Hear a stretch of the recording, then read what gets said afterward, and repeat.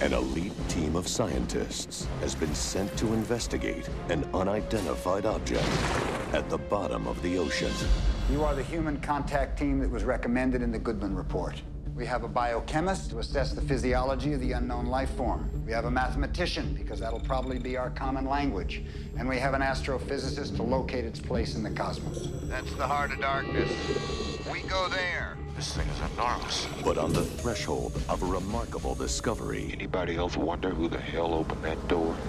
they are about to unleash a force alien to anything on Earth. Hey guys, I'm getting a reading on the sonar. You're not alone out there. Norman, there's something up here. It's 80 yards in closing. Get out of there. Oh my god. What could have done this to her? Her body's been completely pulverized. 60 yards. How close are you? It's a dead end. Where are we? You almost got me killed. I'm down there. I can't breathe.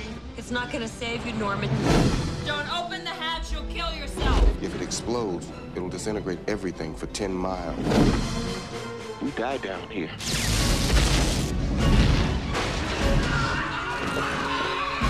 Forty yards. I'm not gonna die down here.